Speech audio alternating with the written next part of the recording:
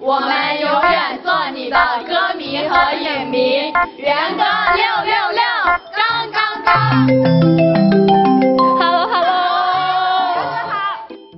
嗯，就是你今天早晨那个去了欧莱雅的总部，然后有什么好玩的？今天我去欧莱雅总部是去参观，然后呢，去他们的口红研发中心，然后去做口红。嗯，对。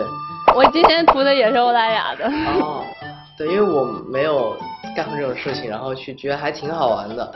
然后它的总部也蛮漂亮的，就走过去就像一个像一个公园一样。然后我去树上摘苹果时，大家应该都知道你最喜欢的超级英雄应该是钢铁侠吧？你可以跟我们分享一下为什么喜欢钢铁侠吗？很有钱，没有没有，开开玩笑开玩笑，因为其实我是觉得钢铁侠蛮帅的，很有科技感，然后因为他本身不是一个具有超能力的人，他是通过自己的科技去打造出来的超能力，我就觉得这个精神其实蛮好，就是每个人你可以去呃创造，去创创造自己的梦想啊什么的，然后最近我还看了死侍，然后还选里面那个铁人钢人，可以叫你刚哥吗？对，开玩笑了，开玩笑了。因为遇见你是你写给我们的第一首歌，能够给我们清唱几句吗？因为遇见你，我学会珍惜，就算面对再多暴风雨打击，我会坚定走下去。谢谢元哥，唱的很好。呃，我可以给你们透露一下，然后，嗯、前段时间在 L A 录了一首新歌，然后最近又正在写，然后会有两三首吧，然后写的差不多了。生日会上的话，应该会唱的。嗯重庆话说几句嘛，随便讲什么都可以。嗯，我就用重庆话说对你最衷心的祝愿吧，祝你越来越漂亮，发大财，然后身体健康，一切顺利。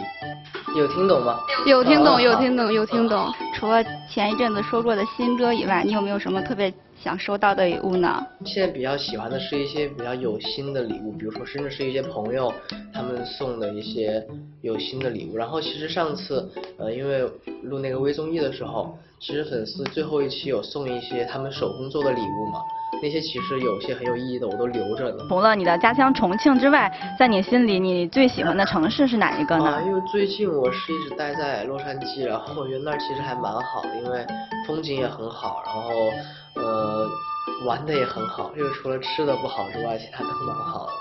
嗯。圆圆你好，我是你的小汤圆儿。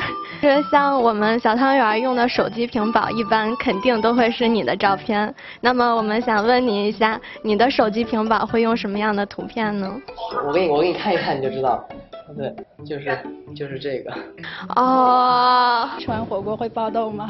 会啊，对对对，这是人之常情。这样的话，就平常有什么护肤秘诀可以分享给我们吗？如果就是小痘痘的话，其实不用在意，就是反正很正常。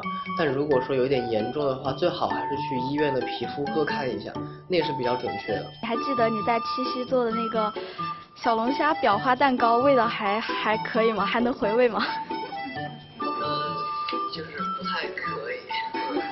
就是我把小龙虾都吃光了，然后蛋糕我也吃了一口，但是没有把它们混合在一起吃。嗯最近学了一个可乐鸡翅，但是一点都不黑暗，我做的超好吃。除非你用蓝色的可乐，可能做出来的会是黑暗料理，但是其他的应该是好吃。对对对，还蛮好吃的。经常在外面工作会想家吗？想家的话，就有时候会让我爸妈给我打个视频，然后拍一拍家里的狗狗给我。但是现在其实还好，因为我有时候在北京工作，爸妈想我，他们就直接坐飞机到北京去找我，就还挺方便的。嗯。元哥，我喜欢你四年了。我是在洋葱的时候开始喜欢你的，那个时候才六年级。你是一个特别真实的小孩，我已经喜欢你五年了，我爱你。永远支持你。